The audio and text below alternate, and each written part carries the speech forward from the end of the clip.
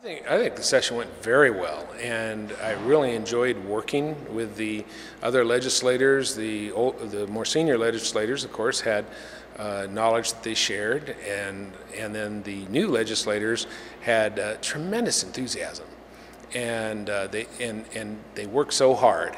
Uh, I was down here at the Capitol uh, from time to time in the evenings, and you'd always see three or four in, in my section, three or four out of the dozen uh, in my section um, would would be down here working, and it was um, uh, the enthusiasm I think was almost contagious, and we uh, we exchanged a lot of ideas. We didn't always vote alike, but we uh, we we did uh, ex exchange ideas in a um, deliberative way, and which I thought was very it was very rewarding for me and something that I enjoyed.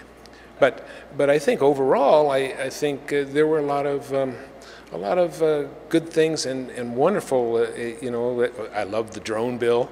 Uh, that was one of my uh, favorites. I, I, worked on that, on the drone privacy bill.